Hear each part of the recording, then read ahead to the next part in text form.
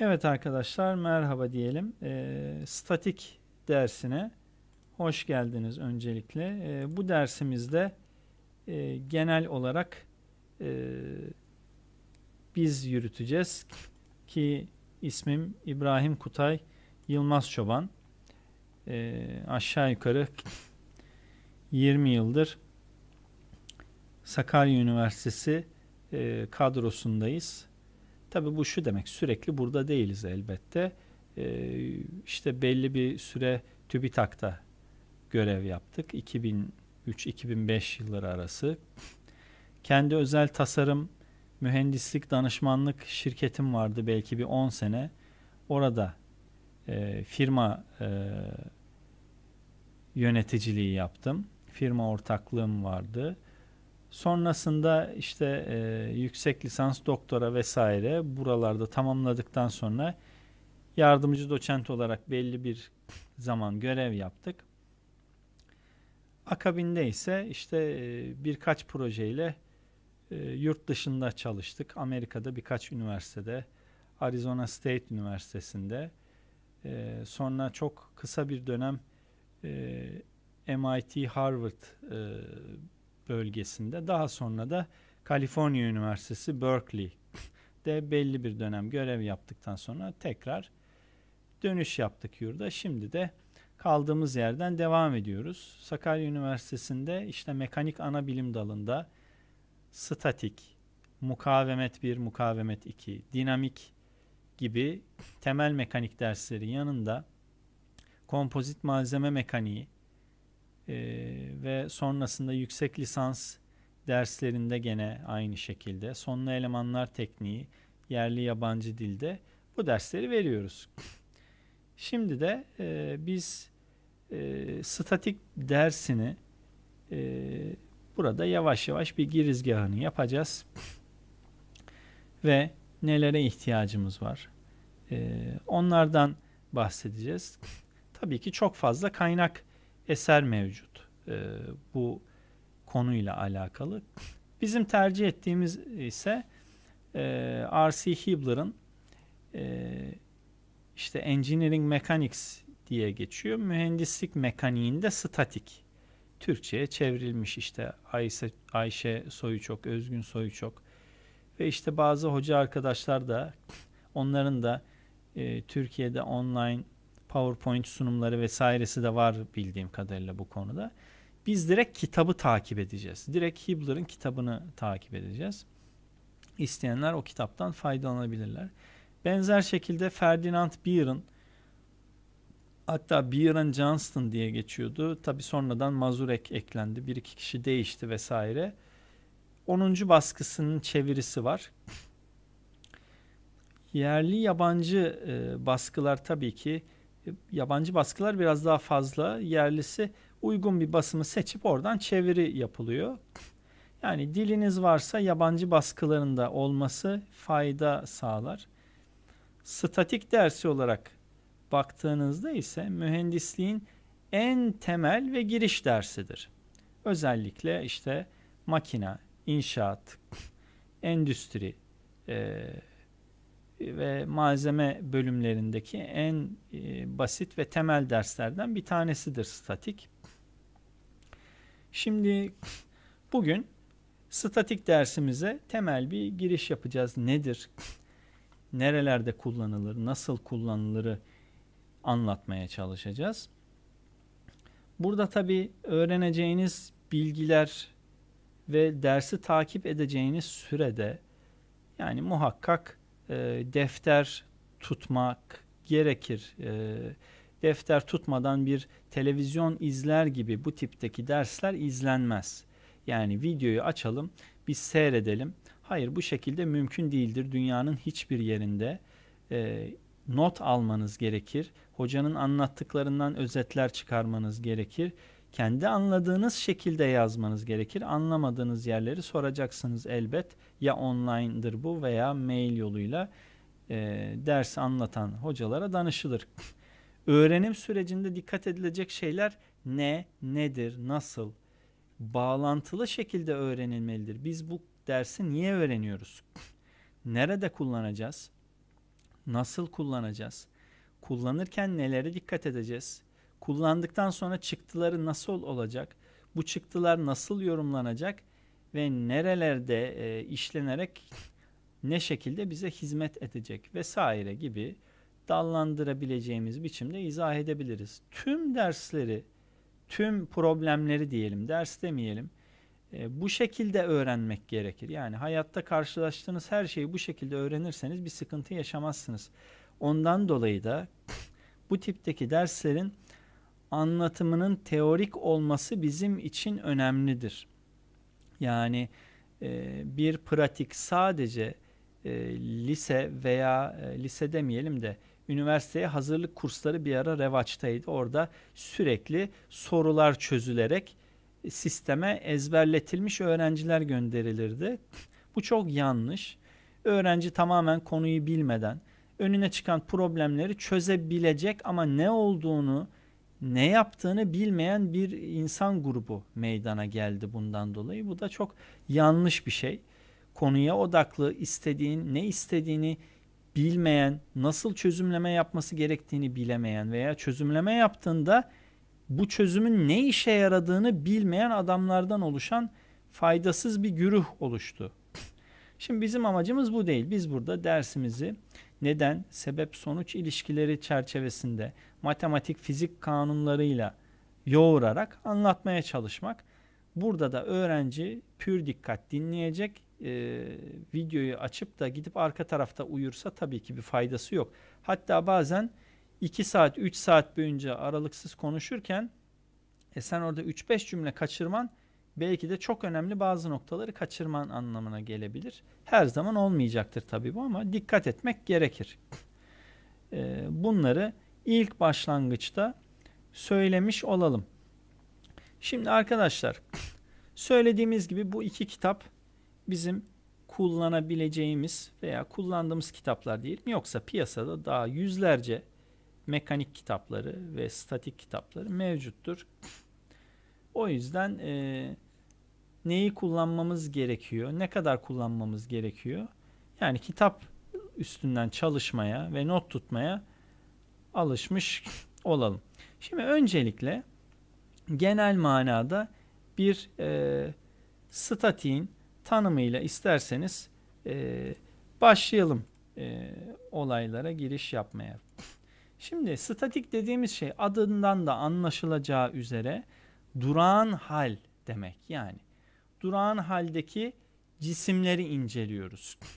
Anlamı buradan çıkabilir. Ne demek bu? Şimdi bir kere biz mekanik e, biliminin tarifini yapacağız. Ondan sonra statiğin mekanik dalı altındaki yerinden de bahsedeceğiz. Ondan dolayı e, burada temel tarifleriyle olayı anlatmaya başlayalım. Şimdi dedik ki statik herhangi bir yük taşıyan eleman için baktığımızda kuvvetlerin fizik ve matematik tabii ki işin içerisinde kuvvetlerin etkisiyle ortaya çıkan reaksiyon durumlarının incelenmesidir. Yani hareket etmeyen, statik halde duran ya da sabit hızla hareket eden ve bu şekilde hareketine devam et devam eden veya ettiren durumlarda statik koşullar yani durumunu koruyor demek mevcuttur. Yoksa hareket ediyor ise o zaman bu dinamik olarak adlandırılır. Yani buradan temel olarak kastımız bir mühendislik probleminde durağan haldeki cisme ya da sabit hızla hareket eden bir cisme üzerine kuvvet tatbik edildiği zaman ki kuvvet reaksiyonlarının incelendiği ve bazı başka şeyler daha var tabii ki. Bunların incelendiği durumdur statik. Şimdi bunu bilmezsek ne olur? Yani çok e, tuhaf olaylarla karşılaşabiliriz. Mesela ben size bir örnek vermekle başlayayım. Yani statikten bir haber kişiler. Tabii ki statik çok yakın zamanda bulunmuş bir şey değil. Ciddi manada eskilere dayanan e, bir bilim dalı. Çünkü en temel bilimlerden birisi ama günümüzde bile hala bu basit e, şeylere dikkat etmezseniz karşılaşabiliyorsunuz bazı sıkıntılarla. Örneğin bir işte e, konteyner gemisi ve buna yükleme yapacak bir vinç. İşte 40 ayak da diyor bazıları.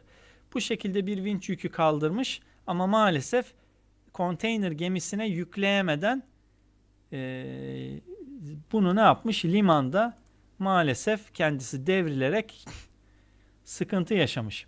Şimdi burada işte gayet basit bir şekilde statik hesabı yapılarak aslında e, tabii ki farklı durumları için bu gemiye e, konteynerin konma sürecinde karşılaşılabilecek problemler önceden tespit edilebilirdi ve hiçbir sıkıntı yaşanmadan bu e, konteyner gemiye yüklenebilirdi ama maalesef bu arkadaşlar bunu gözden kaçırmışlar. Daha ne olaylar var yani burada fotoğraflarını koysak tabi aklınız durur. Ondan dolayı demek ki e, temel bir takım şeylere de sahip olmak lazım. Her şeyi e, hızlıca hemen halledelim diyerek bu iş olmuyor. Şimdi e, o zaman genel olarak biz statik dersinde nelerden bahsedeceğiz istiyorsanız ben de önüme bir kitap alayım. Oradaki başlıklarla e, size bunları tarif edeyim sonra devam edelim.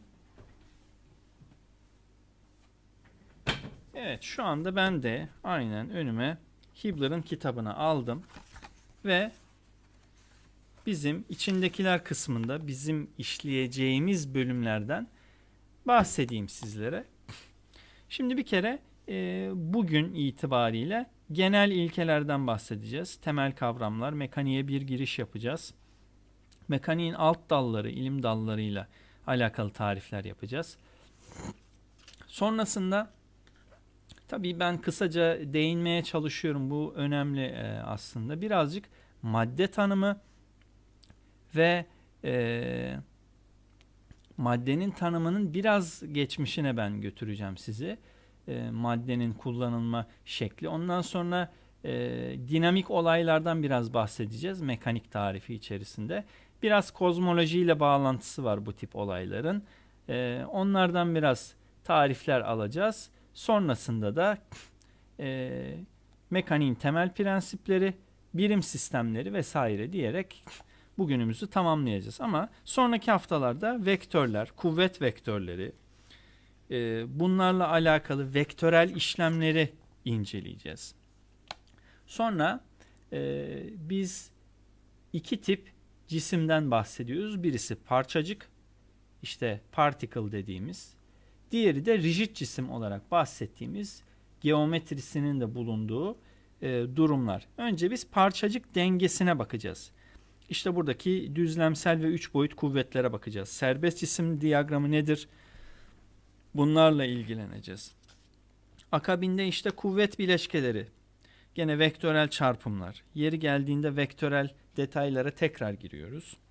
Momentlerden biraz bahsedeceğiz. Kuvvet çiftleri, yayılı yükler. Sonrasında rigid cismin dengesine gireceğiz bu sefer. Rigid cismin dengesinde e, gene aynı şekilde e, serbest cisim diyagramları, denge denklemleri vesaire e, statikçe belirli olan koşullar, bağlantılardan bahsedeceğiz.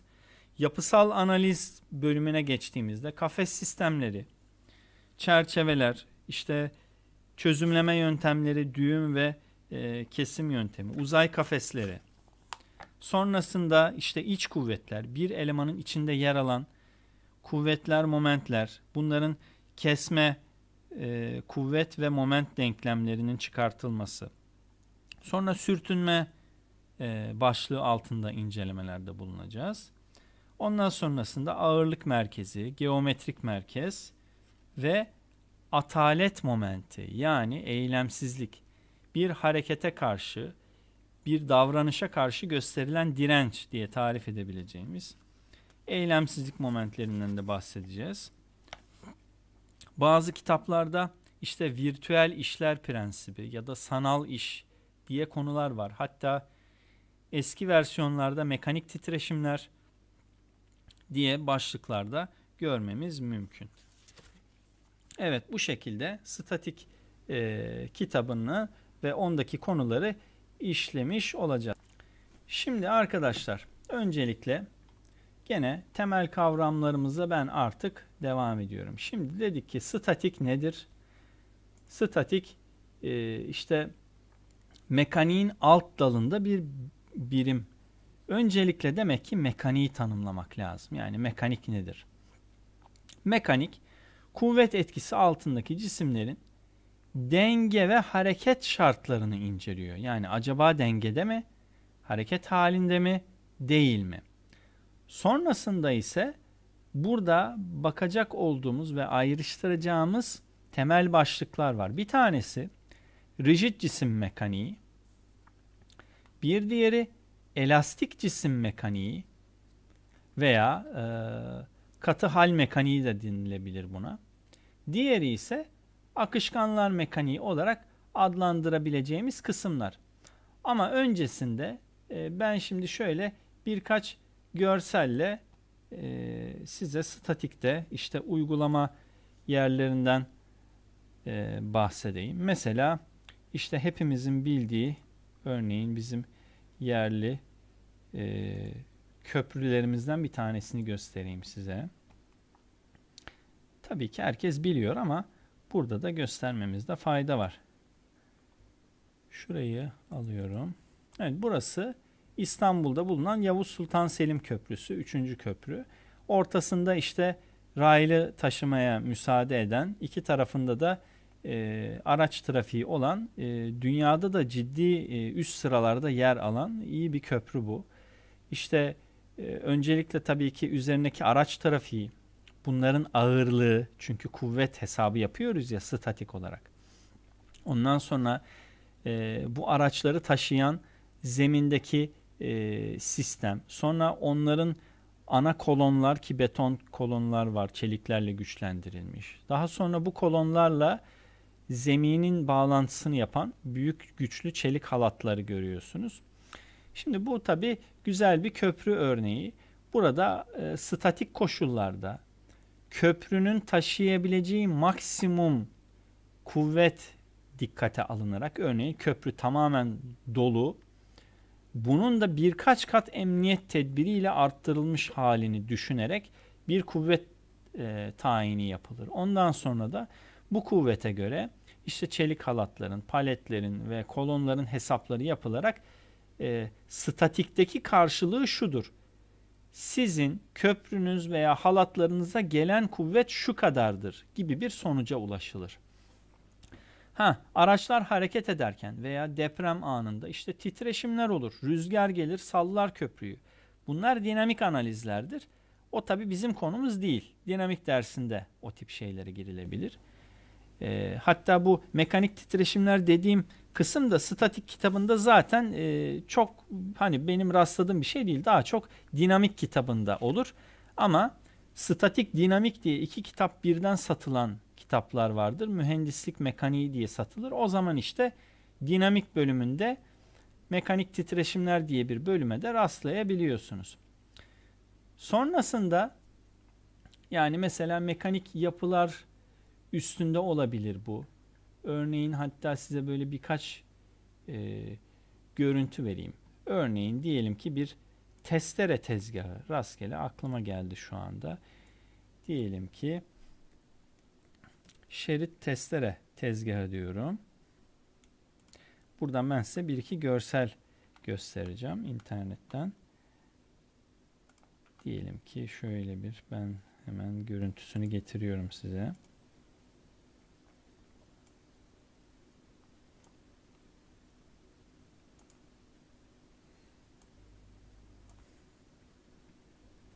Evet örneğin böyle bir cihaz. Şimdi bir köprü yaparken tabii bir bina inşa ederken bu daha çok inşaatçıları ilgilendiren kısmı. Ama bir makinacı ne yapacak? E, bu tipte bir cihaz üreteceğini farz edelim. Veya işte bir e, hızar olabilir. Yani tabii daha bunun e, sonu gelmez. Yüzlerce, binlerce çeşit makine tipi var. İşte aracıydı, motoruydu, bilmem nesiydi. Yani sonu yok bunun. Ben sadece sizlere örnek olsun diye bir iki tane e, farklı şey göstermek istiyorum. Yani burada karşılaşılan durum cihazın sabit, statik, çalışmayan haldeki durumu için e, oluş, oluşan yüklerden e, cisim işte bileşenleri üzerindeki reaksiyon kuvvetlerinin hesaplanması şeklinde de olabilir. Yani çatılar vesaire, e, köprüler, binalar, yapısal durumlar haricinde mekanik durumlarda bu şekilde olabilir diye de e, bahsedilebilir. Mesela farklı uygulama tipleri illaki makina veya işte inşaat değil de mesela diyelim ki biyomekanik biyomekanik durumunda e, karşılaşabileceğimiz örneğin implantlar değil mi? Herkesin bildiği ben mesela şurada şöyle bir resim örneği vereyim size. Tabi internette yazınca siz de karşılaşabilirsiniz.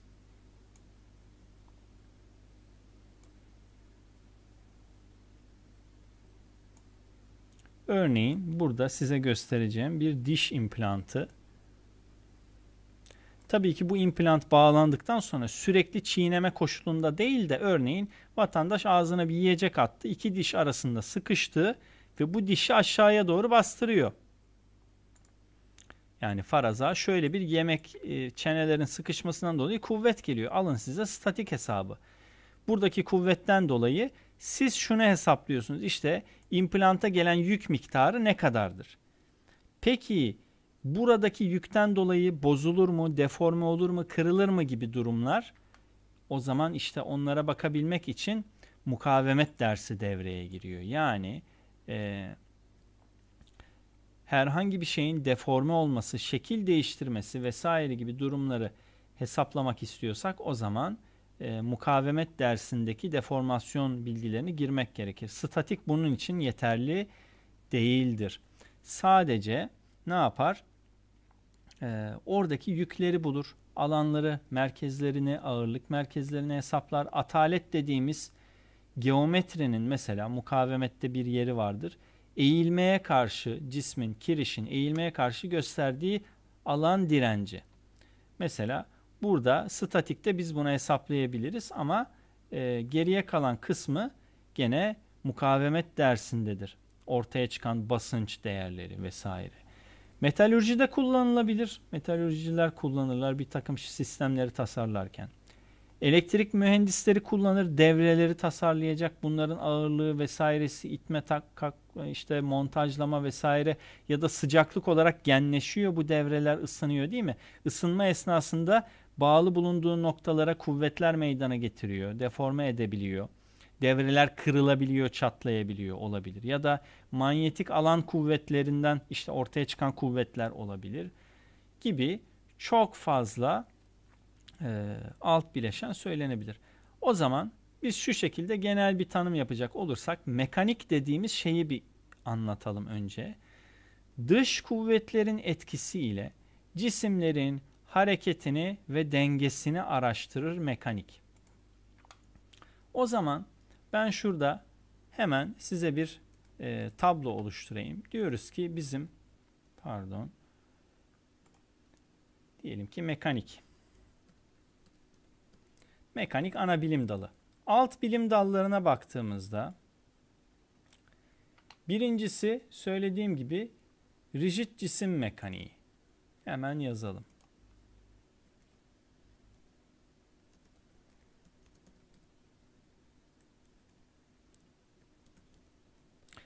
Rigid cisim mekaniği. Ne demektir bu? Bunu bir tarif edelim. Rigid cisim demek e, kuvvet uygulanmadan önce veya kuvvet uygulandıktan sonra cisim bileşenlerinin yerlerini değiştirmemesi demek. Şekli değişmiyor, ezilip bozulmuyor, eğilip bükülmüyor. Hep çok sağlam bir şekilde şeklini koruyor olarak düşünebilirsiniz. Biz buna rigid hal diyoruz. Yani mesela şunu düşünün. Elinizde bir çekiç var. Çekiçle ceviz kırıyorsunuz. Cevize vurduğunuzda e, çekiç çelik. Ceviz yumuşak ona göre vuruyorsunuz ceviz kırılıyor. Böyle bir durumda biz izafi olarak diyoruz ki çekicin e, o çelik kısmı cevize göre rigiddir. Yani cevizi kırıp bozdun ama çekicin çeliğine hiçbir şey olmadı. Yani bu bir kabul. Biz de e, özellikle statik ve dinamik derslerinde yani yazalım.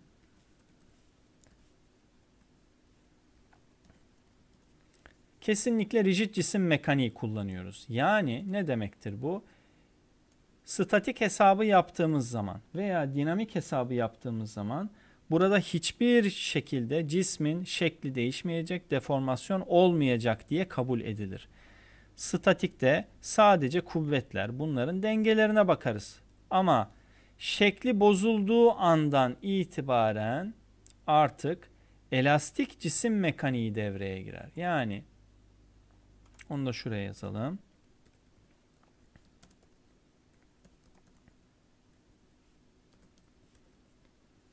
Elastik cisim mekaniği veya buna biz e, katı hal mekaniği diyebiliriz. Şöyle biraz açalım bunu.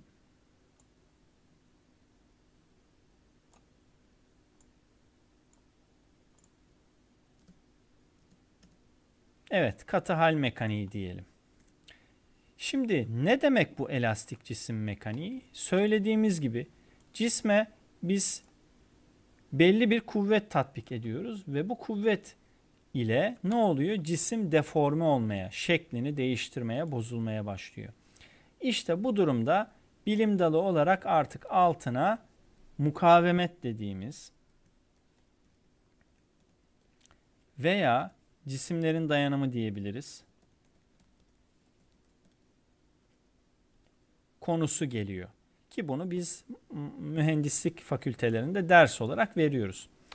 Şimdi burada ise kendi içerisinde başka olaylar var. Yani e, ki şöyle söyleyelim. E, yabancı dil olarak baktığımızda solid mechanics diye geçiyor mukavemet ya da strength of materials diye geçiyor. Cisimlerin dayanımı.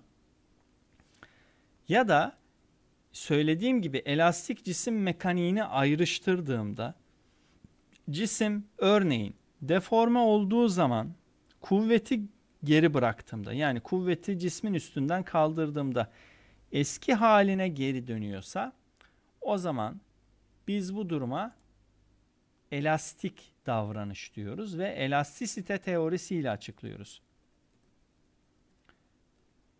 Elastisite teorisi. Ama cisme kuvvet uyguladık ve kuvveti kaldırdığımızda o kadar fazla kuvvet uygulamışız ki cisim kırılmış, eğilmiş, yamulmuş. İşte buna biz plastik davranış diyoruz. Ve plastisite teorisiyle ifade ediyoruz bu olayı. Tabii ki bu elastisite ve plastisite olayları biraz lisansın üstüne kalıyor. Yani elastisitenin belli bir kısmıyla lisansta uğraşıyoruz. Elastisitenin tamamına bile girmiyoruz. Plastisite ise çok daha ağır oluyor. Bunlar da bir nevi mukavemetin alt bileşenleri olarak adlandırabilirim ben. Bunun yanı sıra bir de gazlarla, sıvılarla vesaire ilgilendiğim durum var. Bunu ise ben akışkanlar mekaniği adı altında inceliyorum. Akışkanlar mekaniği. Ee, veya tabii ki buna da İngilizce olarak fluid dynamics, fluid mechanics gibi isimler verilebilir. Burada ise şöyle bir durum söz konusu akışkan acaba basınç uygulanarak sıkıştırılabilir mi? Yani bir gaz mesela akışkandır. Ben bunu bir basınçlı kabın içerisinde ne oluyor? Su buharı sıkışıyor örneğin ama suyun kendisi e, sıkıştırılamaz gibi. Ha o zaman burada işte farklı bir sınıflandırma benim karşıma çıkıyor. Neymiş o?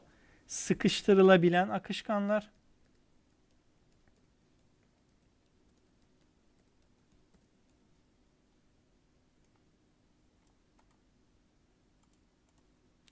ve sıkıştırılamayan akışkanlar.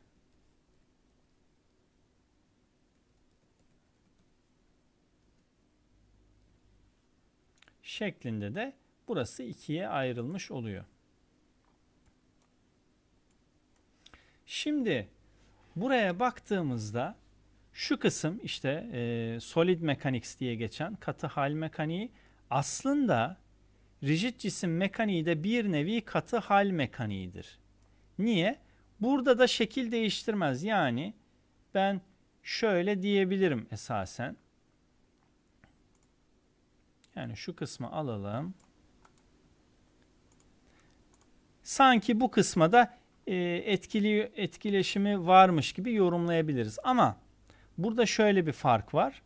E, rigid cisim mekaniğinin İngilizce tanımlamasında burası e, engineering mechanics diye geçiyor. Yani rigid cisimler şeklini değiştirmeyen mekanik, statik ve dinamik olarak engineering mechanics başlığı altında inceleniyor. Şekil değiştirebilenler katı hal yani e, solid mechanics diye ya da strength of materials diye inceleniyor. Akışkanlar ise fluid dynamics olarak inceleniyor. Peki bir şey daha diyelim. Şimdi burada önemli olan şey mesela diyelim ki sıra masa sandalye veya herhangi bir nesne, katı nesne. Bu nesneye başladıktan sonra nesnenin sonuna kadar sürekli bir ortamın devam ettiğini görüyorum. Mesela sıvıda da aynı şey söz konusu. Bir baraj var. Barajda su musluklara basılıyor. E, su hattına basılıyor. İsale hattına, borulara. O borulardan geliyor. Evinizdeki musluğa kadar su devam ediyor bakın sürekli. Tabi suyun kesik olduğu durumları unutalım.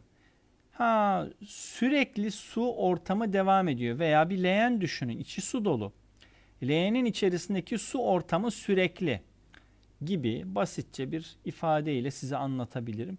Bundan dolayı da bunların tamamı aslında hepsine birden biz mekanik adı altındayken sürekli ortam mekaniği ismini de ayrıyeten verebiliriz.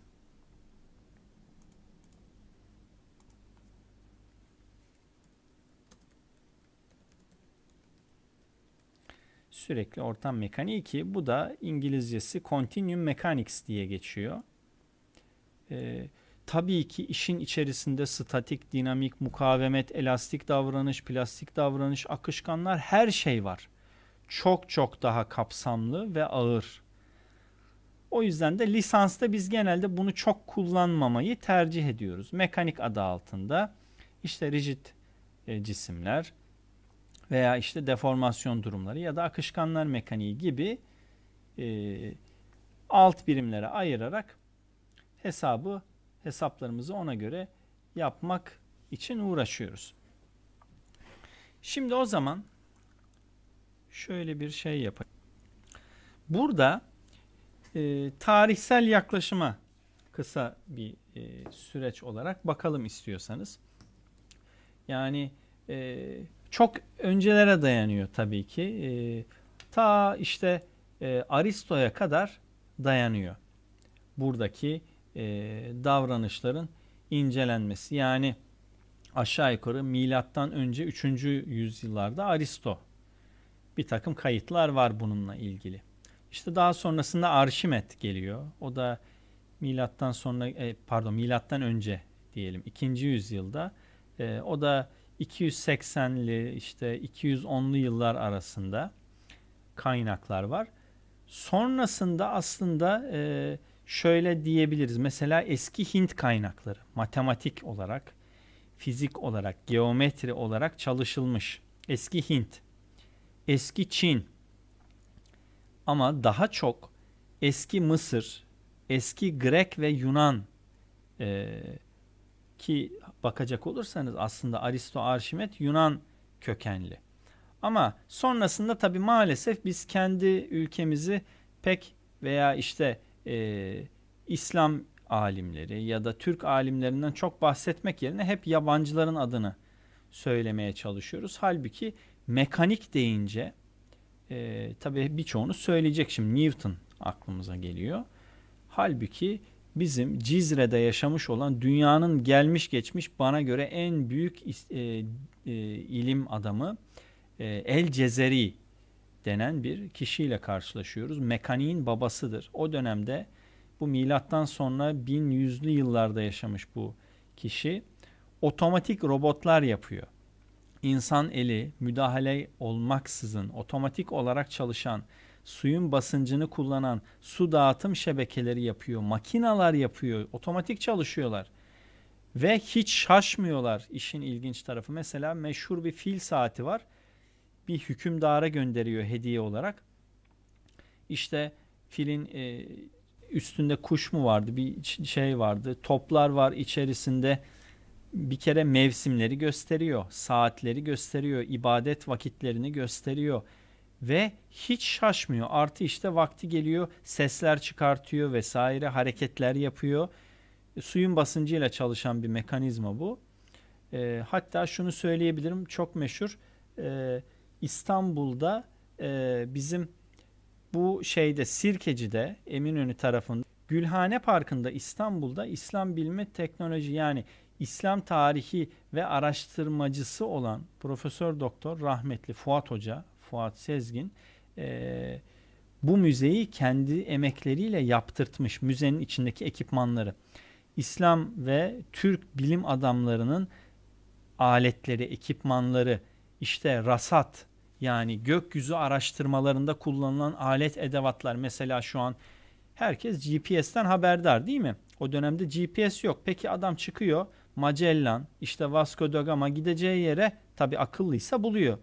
İşte e, Kolomb gidip de ne yapıyor? E, bulduğu yeri Amerika değil de Hindistan zannettiği için Amerikan yerlilerine Indian deniyor. Niye? Çünkü Hindistan'a gittiğini zannetmiş. Halbuki alakası yok. Amerika diye bir kıta keşfedilmediği için. Tabi öyle de bir gaf var. Ee, yani ondan sonra e, buradan şu ortaya çıkıyor. O dönemlerde kullanılan usturlap denen bir enstrüman var. Filmlerde de görmüşsünüzdür. Bir pusulamız var. Ee, bununla yön tayini yapıyor ama noktasal atış usturlapla yapılıyor. Bu gemicilere bakarsanız e, ellerinde böyle bir üçgene benzer bir cihaz üstüne bir takım ayarlar yapar. Aya işte yıldızlara doğru tutarak bunu e, işte o cihazı ayarlar. Bu o dönemin GPS'i olarak adlandırabiliriz. Yani yakın bir tabi GPS kadar olmasa da çok yakın bir hassasiyetle gidecekleri yerlere oraları bulmaları bakımından yardımcı olan enstrümanlar bunlar. E, tabii ki o dönemde e, Türk ve İslam bilim adamları, Fars bilim adamları mesela El Harizmi gibi e, işte mesela Biruniler ya da Selçuklu mesela TRT'de dizisi var değil mi? Selçuklu seyrediyorsunuzdur belki. Orada Ömer Hayyam e, bunlar çok yüksek matematikçiler yani hem şiir yazıyor hem sanatla ilgileniyor ama matematik ve rasat bilmi çok gelişmiştir bu adamların. E, yani İbnül Heysemler, e, Lagari Hasan Çelebiler vesaire Ali Kuşçular yani daha tonlarca adam var ama biz maalesef bu insanların adını zikretmiyoruz. Halbuki mesela Harizmi'yi örnek verecek olursak matematiğin en büyük devlerindendir Harizmi. Ha şimdi ileriki zamanlarda duyacaksınız işte ki ben birazdan gene söyleyeceğim e, Lagrange'lar bilmem neler bu adamların denklemlerini kullanıyoruz. Ama e, polinomları gündelik hayata adapte eden sıfır rakamını Hintliler bulmasına rağmen sıfırın bulunuşunun harizmiye atfedildiği çok önemli bir nokta vardır. Matematiği çok iyi kullanıyor. O dönemde iki e, dereceden, ikinci dereceden polinomları çözen kişidir. Alan hesabını bulmuştur. Sıfırın icadı matematiğin en büyük devrimidir günümüzde bile. Arap rakamlarının kullanılması o güne kadar Roma rakamları kullanılıyor. Doğru düzgün hesap yapamıyorsun. Yani işte M'ler, C'ler, V'ler hesabın içinden çıkılmıyor. İşte El Harizmi e, Arap rakamlarını ki günümüzde kullanılan rakamlar Arap rakamlarıdır. Bunları devreye sokuyor. Sıfırı matematikte kullanmaya başlıyor. Böylece negatif sayılar işte e, vesaire e, koordinat sistemleri de ortaya çıkışı kolaylaşıyor. Alan hesaplarını yapıyor. Aynı zamanda da işte e, çok kıymetli bir eser yazıyor. Tabi hem ismi uzun hem eserin adı uzun ama eserin adını söylediğimde hemen bileceksiniz. Son noktası El Cebr yani cebir ilmini bulan kişidir Harizmi. Bundan dolayı da çok önemlidir. Avrupa'da e, birçok ülkede 200-250 sene bakın temel matematik kitabı olarak okutulmuştur Harizmi'nin El Cebr kitabı. Çünkü o dönemlerde Avrupa'da şunu yapıyorlar. Sen ilimle uğraşıyorsan sen cadısın diyerek çarmıha gelip yakıyorlar. Bunların ilmi bu kadar yani Avrupa'nın ilmi o dönemde. Ama işte Endülüs'le birlikte e, ne oluyor? E, İspanya'ya geçen Müslümanlar yardımıyla ilim öğrenmeye başlıyorlar. Türkçe, Türkçe demeyelim tabii ki yani karışık eserler, Arapça vesaire ifadeleri, kitapları çevirerek hatta çalarak kendi adlarını yazarak maalesef e, bazıları e, pozitif ilimleri öğrenmeye başlıyorlar. Bundan sonra Avrupa.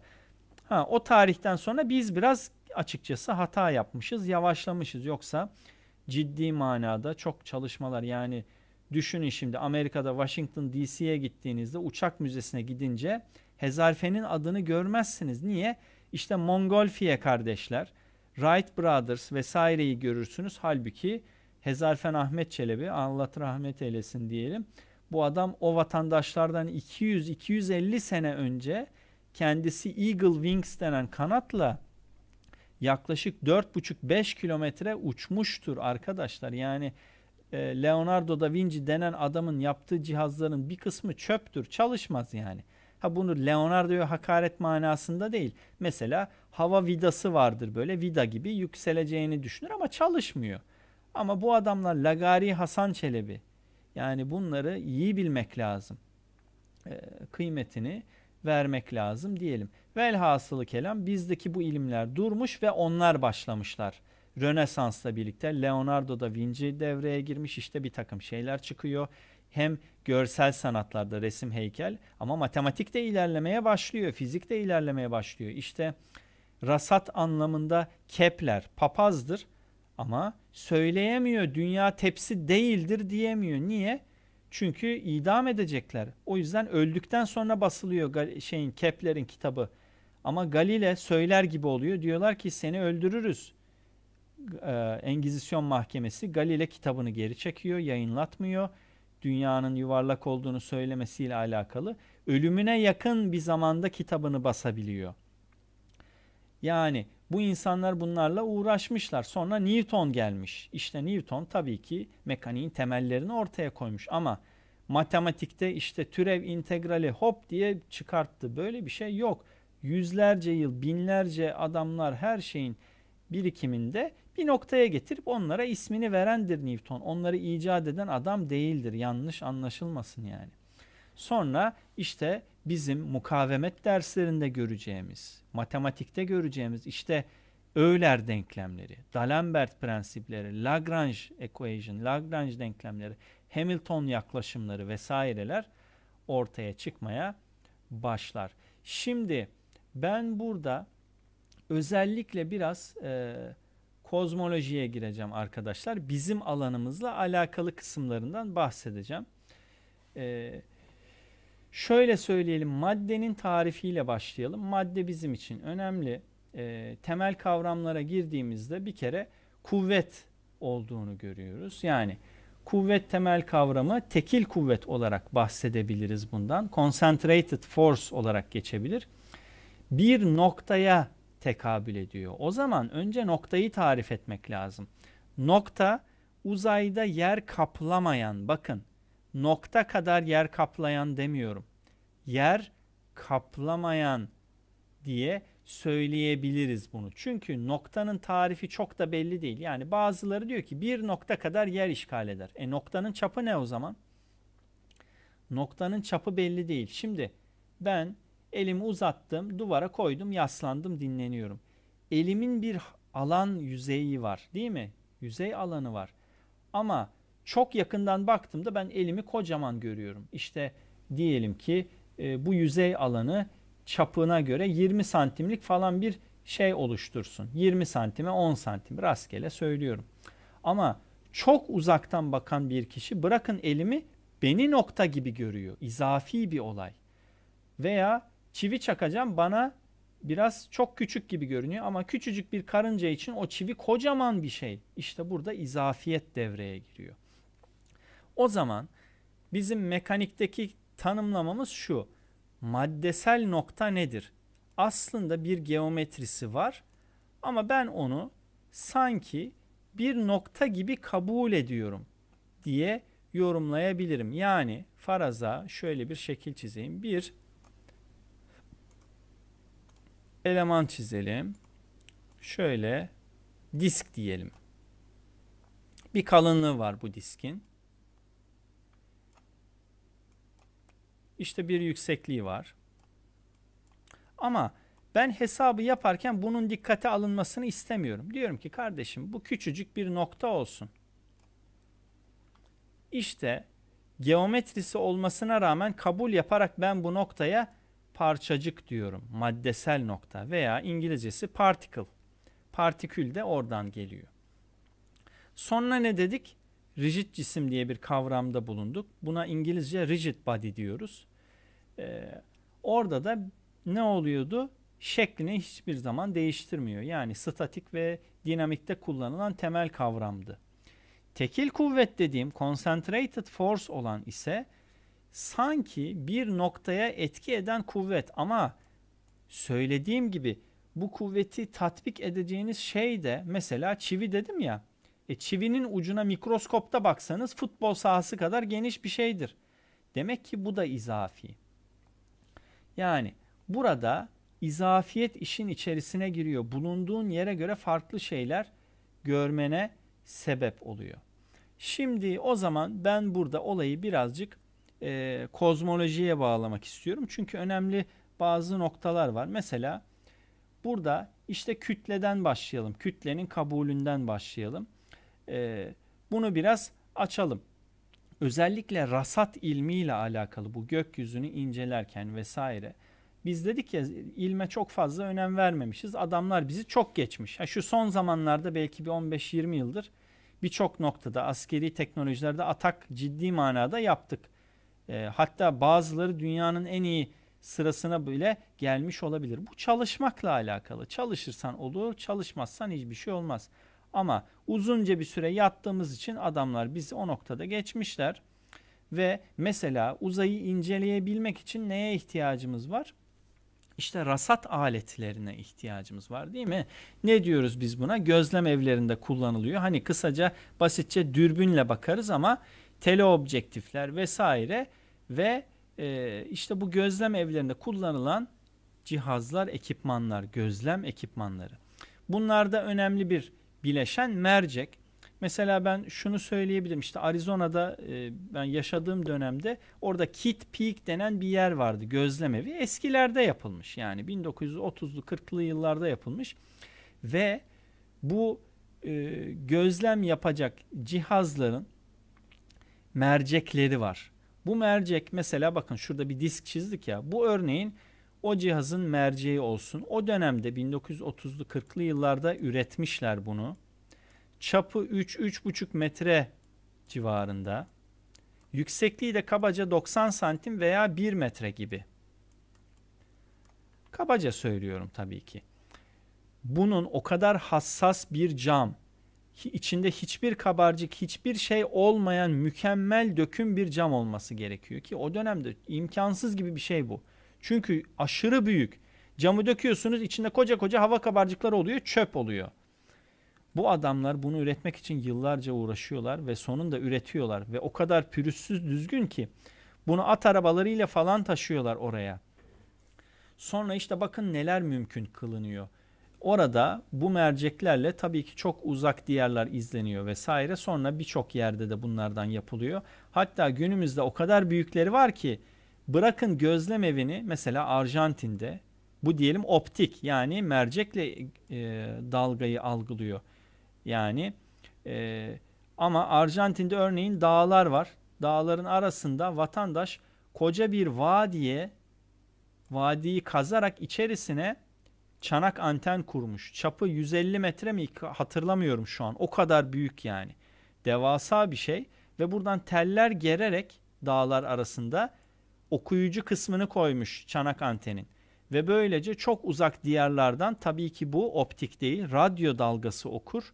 Radyo dalgasıyla anlıyor yani bu şekilde dalgalarla nesneleri anlayabiliyor. Bu ise optik e, gözlem araçları. Şimdi burada ne yapılmış? İşte bu gibi cihazlar üretilerek gözlem aktif hale getirilmiş. Şimdi niye bunları anlatıyorum? Partiküle geçiş yapacağım. Edwin Hubble'ı biliyorsunuzdur muhtemelen. Hubble teleskobu. Şimdi işte bu dünyada kullanılan teleskop. Adamlar diyorlar ki ya dünyadaki ışıktan dolayı uzay ve gezegenler, kozmoloji bunların dinamiği incelenemiyor. Statik durum zaten söz konusu değil. Yani mekaniğini inceleyemiyoruz. O zaman biz bu teleskobu uzaya gönderelim diyorlar. Teleskop uzaya gönderiliyor. Tabii ki o tarihlerden sonra bu. Ben hani ilerisine bahsediyorum ve uzayda şu anda Hubble teleskobu uzaydadır. Dünyada değildir. Uzaydan görüntüleri alır. Ee, NASA onu kullanıyor. Hatta Arizona State Üniversitesi'nde bizim e, eşimin binasının altında Mars Araştırma Merkezi vardı. Uyduları vesaire Mars'a gönderdikleri cihazları orada yapıyorlardı ve orada 24 saat Mars'ı gözlemledikleri devasa bir ofis vardı. Bütün herkese açık camdan görüyorsun böyle Mars'ın her noktasını. E, tetkik ediyorlar. Tabi yani bunu oturup bakmak için yapmıyorlar. Bir şeyler bulmak için uğraşıyorlar. Velhasılı kelam şuraya geleceğim. Hubble o dönemde gök, gökyüzünü rasat ederken şunu fark ediyor. Bakıyor ki e, gezegenler hareket halinde şöyle bir şey gösteriyor. Ben size şimdi e, bir görüntü vermeye çalışacağım. Biz bir saniye aratayım bulayım onu.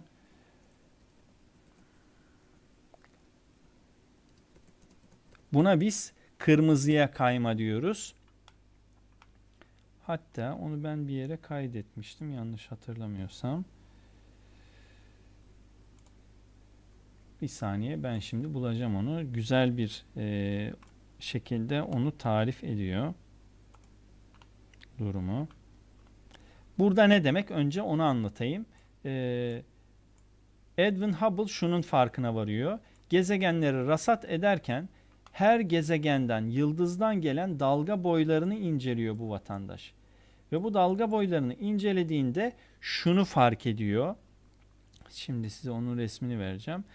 Ee, bir renk oluşturuyor bu dalga boyları. Kırmızıya ve maviye kayan renkler oluşuyor. Evet. Şimdi göstereyim size. Aynen bu. Ne demek bu? Şu demek. Mesela yol kenarında duruyorsunuz, bir ambulans sesi duyuyorsunuz, uzaktan geliyor. Gelirken sesi farklı şekilde yaklaşır. Sizin yanınızdan geçerken o ses zirveye ulaşır. Sizi geçtikten sonra sesin tonu değişir. İşte bu buna Doppler etkisi denir. Yani e, size yaklaşırken maviye kayma gerçekleşiyor. Sizden uzaklaşırken ise kırmızıya kayma yani kırmızı boyutta frekans gönderir size. İşte Edwin Hubble bunu fark ediyor. Diyor ki gezegenlerin birbirlerine göre konumları hep kırmızıya kaymaktadır diye söylüyor. Yani ilk bakıyor böyle, bir daha bakıyor böyle. Tabi abartıyorum ben şimdi. Bir daha bakıyor böyle. Hep birbirlerinden uzaklaşıyorlar. O zaman diyor ki evren genişliyor. Madem evren genişliyor bunun bir başlangıcı vardır diyor ve işte Big Bang teorisini temellerini atmış oluyor. Her şeyin bir başlangıç noktası vardır madem genişliyorsa deniliyor. İşte Big Bang teorisi. Sonra e, bu genişleme sürecinin tabii ki günümüzde biraz böyle zayıf bir teori olduğu anlaşılıyor. Çünkü ilk patlama anında V1 hızı olduğunu düşünün. Birbirlerinden V1 hızıyla uzaklaşıyorlar. Sonra bu hız gittikçe yavaşlamalı. V2'ye düşmeli. Sonra V3'e düşmeli gibi düşünebilirsiniz. Halbuki bakıldığı zaman V3 hızının V1 hızından e, az olmadığını fark eden ilim adamları var. Bunu nasıl anlıyorlar? Mesela çok uzak yıldızlardan gelen ışık aslında milyonlarca yıl öncesinden geliyor. Bunu biliyoruz. Değil mi? Işık yılı diyoruz ya geldiği için. Ama çok yakınımızdaki olaylar yakın zamanda gerçekleşiyor. Bunu kıyasladığınızda bunu anlıyorsunuz. Ve Belki de büyük, büyük patlama diye bir şey yok. Onu da bilmiyoruz ama bu Edwin Hubble'ın teorisidir. Şimdi buradan ben bir iki noktaya bağlayacağım. Bu maddenin ne kadar önemli olduğunu, tekil maddenin noktanın oralara geçelim. Şimdi hemen bakacak olursak biz Newton'un denklemleriyle ilgileniyoruz. Newton'un prensiplerinden bahsedeceğim. Newton'un prensiplerinden bahsederken biraz daha bu konuyu değiştireceğim. O yüzden şimdi bunları hemen aldık buradan. E, mekaniğin temel altı ilkesine gireceğim hızlı bir şekilde. Mekaniğin 6 tane prensibi vardır. Bir en önemlisi hatta şöyle diyelim prensiplere girmeden bir iki detay daha vereyim olmazsa. Mesela kuvvetle başlayalım. Kuvvet dediğimizde karşımıza onu basit gösterebilmek için bir e, tanımlama yapacağım ben size. Şöyle bir görüntü vereyim. Evet bu şekilde kuvvet. Kuvvet ne demek? Kütle yer çekimi etkisiyle ağırlığa dönüşüyor. Buna kuvvet diyoruz. Şimdi kuvveti tanımlayabilmek için neye ihtiyaç var? F, F kuvvetin şiddeti. Sonrasında e, B noktası kuvvetin tatbik noktası. Daha sonra doğrultusu yani AB Ondan sonra kuvvetin yönü ki burada aşağıya doğru olduğu görünüyor. Bir kuvveti doğru tanımlayabilmek için bunlara ihtiyaç vardır diye söyleyelim kuvvet tanımı içinde. Sonra e, şunu söyleyebiliriz. Mesela bir maddeden bahsedelim öncelikle. Madde uzayda yer kaplayan her şeydir. Yani uzayda her şeye biz madde diyoruz yer kaplıyorsa. Ama cisim ne demek? Bu maddenin kapalı bir yüzeyle çevrelenmiş haline cisim diyoruz. Yani madde her şey ama bu bir yüzeyle çevrelenmişse işte bu bir artık cisim oluyor. Yani mesela şunu düşünün. Su bir madde ama suyu bir balonun içerisine koyduğumuzda cisim gibi oluyor. Böyle bir yorum yapılabilir. Cisimler de kendi içinde katı sıvı gaz gibi ayrı alt bilim dallarına ayrılabilirler. Sonra burada cisimleri ise davranışlarına göre ayırmıştık biraz önce. Rigid dedik, elastik, plastik olabilir. İkisinin arasında elastoplastik olabilir. İşte zamanla bağlantılı bir durum varsa viskoelastik, viskoplastik olabilir. E, elastiklik süreci çok e, şeyse e, ne derler fazla ise hani daha farklı şekilde tabii tarif etmek lazım ama şu an sizin için biraz erken. Hiper elastik olabilir, süper plastik olabilir diye tariflerde yapabiliriz. Hatta mekaniği tarif ederken rigid cisimlerde statik ve dinamik dedik bıraktık. Halbuki bunların arasında bir süreç de vardır. Buna yarı statik denir. Yani hareket eder ama iyice yavaş hareket eder. Yani İngilizcesi de quasi-static diye geçiyor. Yarı statik diye de tarif etmiş oluyoruz. Ataleti söylemiştik hareketteki değişikliğe karşı. Yani herhangi bir şeyi değiştirmeye karşı gösterilen direnç olarak da söylemiştik. Şimdi geldik temel altı prensibe. Birinci prensibimiz paralel kenar kanunu. Burada bir cismin e, hatta şöyle bir paralel kenar şekli vereyim ben size. Bir cisim ki bu bir nokta ile ifade edeyim. Şurada bir cisim var. Buradan iki tane farklı kuvvet olsa ve bu kuvvetler bir paralel kenar meydana getirdiği zaman kırmızı ile gösterilen kuvvet işte bunun bileşkesini oluşturur. Buna da biz bileşke kuvvet deriz. Burada paralel kenarın köşegeni olarak da geçiyor. Ve burada vektörlerin toplamı paralel kenar kuralına göre işte bu vektöre eşit olmuş oluyor. Ne demektir bu? Hemen yazarsak c kare eşittir a kare artı b karedir. Ama eğer arasında bir açı varsa Gama diye bir açı varsa mesela şöyle yapalım. O zaman bu paralel kenar kanunundan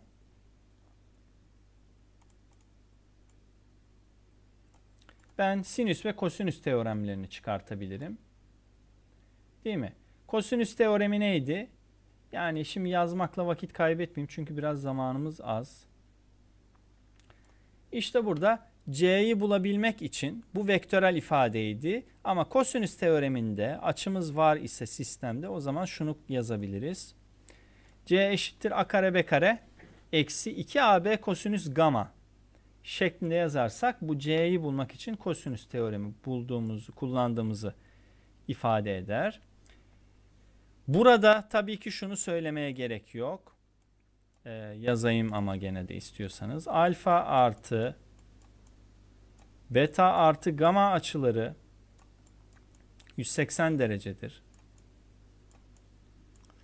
Sonra sinüs teoremine baktığımız zaman ise kenarların karşısındaki açının sinüsleriyle orantılı olduğu görülür. O zaman da ne oluyor?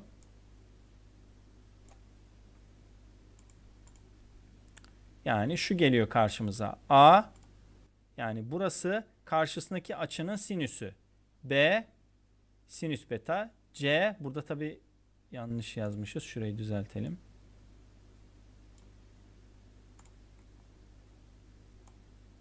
C sinüs gamma olur. Buna biz paralel kenar kanunu diyoruz. Bu birinci kanun. Şimdi gelelim ikinci kanuna. Buna hatta paralelogram law diye de söyleyebiliriz İngilizcesini. İkinci kanun kayıcılık ilkesi. Tabii ki yani hani e, farklı sıraya koyabilirsiniz. 6 tane kanun var. Kanunlardan bir tanesi o. İkincisi süperpozisyon ve kayıcılık ilkesi. O zaman ne oluyor? Bir doğrultu, cismin üzerinde bir kuvvet var. Bu kuvvetin doğrultusunu değiştirmeden cismin farklı bir noktasına taşıyabilirim demektir bu. O da şöyle izah edilir.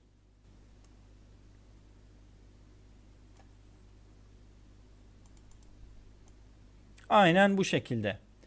Ne diyoruz biz buna? Süperpozisyon yani durumu birleştirmek demektir süperpozisyon. Durumları birleştirmek. Ee, burada şöyle tarif edersek rigid cismin bir noktasına etkileyen bir kuvvet var. Onun yerine aynı tesir çizgisi üzerinde aynı şiddet ve doğrultuda ve yönde fakat başka bir noktaya etkileyen bir e, kuvvet konulur. İşte bu bizim rigid cismimizin dengesini ve hareket durumunu değiştirmez. İşte buna süperpozisyon ve kayıcılık ilkesi denir. Bu ikinci ilkemizdir. Sonra hemen geliyorum Newton'un 3 tane kanununa. Newton'un birinci kanununda e, eğer bir kuvvet maddesel nokta sabit duruyor ise veya sabit hızla hareket ediyor ise bu hareketine aynen devam eder. Yani ne demek o? Şu. Hemen görüntü veriyorum size gene.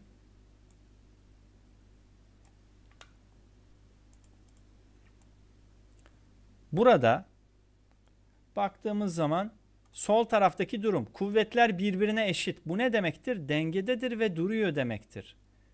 O zaman ben şunu yazabilirim toplam fx eşittir 0. Diğer yönlerde de duruyor olmalıdır. O zaman toplam fy eşittir 0. Kuvvetlerin toplamı 0 yani. Ve toplam fz eşittir 0. Diyebilirim. Diğer şekil ise bir sürü kuvvetin bileşkesi var. Bir tane yönde cismi sabit bir hızla hareket etmesine sebep oluyor. Aynı hızla devam ediyor. O zaman sen ne yaparsan yap bu hızına da devam ediyorsa sabitse işte bu bizim Newton'un birinci kuralı olur. Yani sabitse sabit kalmaya devam eder. Sabit hızla gidiyorsa sabit hızına devam eder. Diye de ifade edebiliriz. İkinci kanuna geldiğimiz zaman Newton'un ikinci kanunu. Bu da F eşittir MA'dır. Ne demek o? bir madde no, maddesel noktanın ivmesi uygulanan bileşke kuvvetinin büyüklüğü ile doğru orantılıdır. Yani işte 2 diyelim. F eşittir ma kütlesi. Bakın ivme ile kuvvet doğru orantılı. Yani ivme ile kuvvet aynı doğrultu ve yöndedir anlamına gelir bu. O zaman bununla alakalı bir şekil hemen ben göstereyim size gene.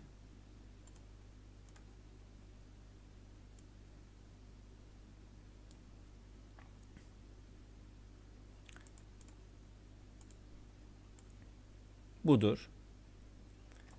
Hatta bu ilk Newton'un birinci kanunundaki denge durumundaki İngilizce ifadesine equilibrium diyoruz. Newton'un ikinci prensibinde ise accelerated motion, ivmelendirilmiş hareket olarak tarif ediyoruz. Yani cisme bir kuvvet tatbik ediyorsunuz. O da aynı doğrultuda bir ivme meydana getiriyor. Yani hızdaki değişikliği meydana getiriyor. Ondan sonra Newton'un üçüncü kanunu ise etki tepki prensibidir. Yani sen bir nesneye temas halinde iken bakın temas halindeyken bir kuvvet verdiğin zaman öbürü de sana reaksiyon kuvveti olarak e, tepkisini geri verir ve bu da ona eşittir. Yani Newton'un üçüncü prensibi ve bizim beşinci prensibimiz oldu bu.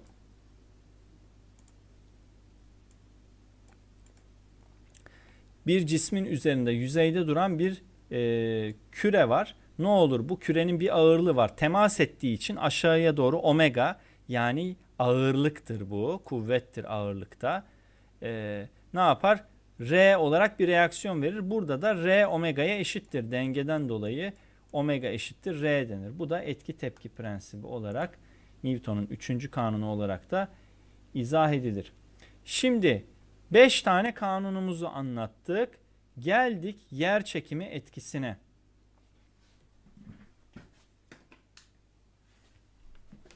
Şimdi bu yer çekimi etkisini e, anlatmaya başlayalım. Evet şimdi bu 5 yasamızı bitirdik. Artık geliyoruz kütlesel çekim kanunu yani genel çekim yasasını izah etmeye. Bunları bir temizleyelim önce.